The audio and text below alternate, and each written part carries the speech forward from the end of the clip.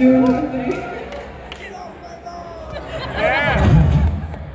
And uh, this is one of our early songs. This is about traveling. Heading into our caravan, driving around. You can sing along in English, caravan, or in French. Caravane.